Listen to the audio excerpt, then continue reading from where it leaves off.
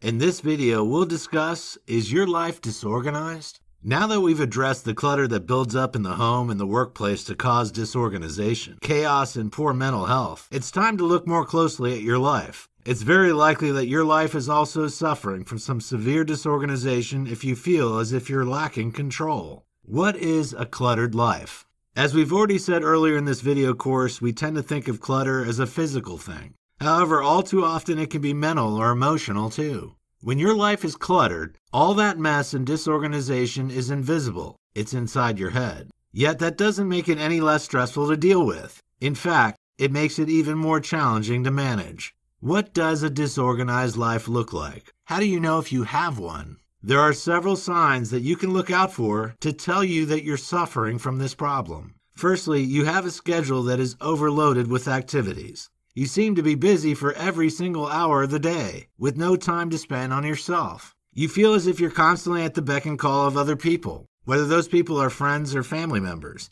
and you struggle to fit all of your obligations, commitments, and activities into your already strained lifestyle. You feel as if you have absolutely no leisure time when you can unwind and enjoy yourself. Or when you do manage to grab a few moments for yourself, you feel guilty that you're not tackling the many other tasks that you have lined up ready to go. You feel under increasing pressure to be a better person, to improve yourself, and to fit the mold that the media tells us we should be in. You feel guilty when you don't have the time to cook an elaborate vegan meal from scratch, or failed to get to the gym again this week, or didn't manage to get to your foreign language class so you could broaden your horizons. If you can relate to any or all of this, you have a disorganized life that needs to be decluttered urgently. Why do our lives become disorganized? There are several reasons why your life may have become disorganized. Not all will apply to everyone, but if you're experiencing the feelings we've outlined above, you'll almost certainly recognize some of them. You're neglecting your own basic needs and are therefore making poor decisions. This can lead to stress, anxiety, and obsessive thoughts that prevent you from focusing on more important areas of your life. You have a FOMO, or fear of missing out. This is a very 21st century problem, and a very common one.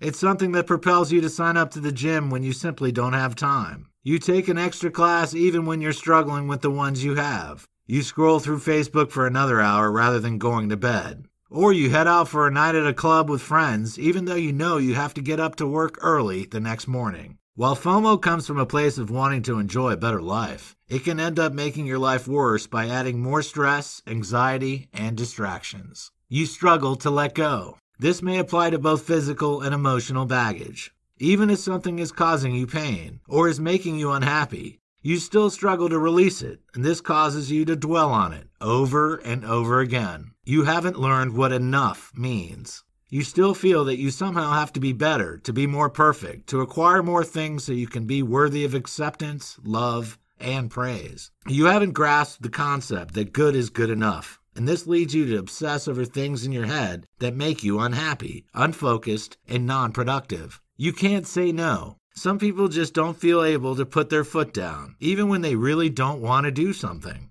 They're too worried about the reaction they'll receive or about upsetting someone and losing their friendship, even if they stand up for what they want and need. You feel obliged to do things, even when they aren't your responsibility. You haven't grasped the idea that delegation is a good thing, and you worry that you'll lose your importance if you allow someone else to take on a job that has always been yours. The problems of an overloaded life. When your life is overloaded, a host of problems can follow. The disorganization of an overpacked schedule leads you to suffer from poor mental health. You become increasingly anxious and stressed about where you're going to fit everything into your crowded day, week, or month. You also end up with no quality time for yourself, something that everyone needs from time to time to recharge their batteries. When every second of the day is accounted for, you just don't have enough time to wind down, relax, and let go of all the frustrations that you've encountered. Falling into bed at the end of a long, hard day will often lead to poor quality sleep as you struggle to process all the stresses and strains you've gone through. This only serves to make it even more difficult to find the energy and motivation to cope with the challenges that life throws at you. When your life is disorganized, you'll also find that your relationships become increasingly strained. Eventually, you'll become more frustrated, more angry, and more likely to snap at your family members and friends. This will increase tension at home and make life even more stressful and difficult. For more free educational content, visit learnforfree.biz. Content produced and distributed by AllSuperInfo.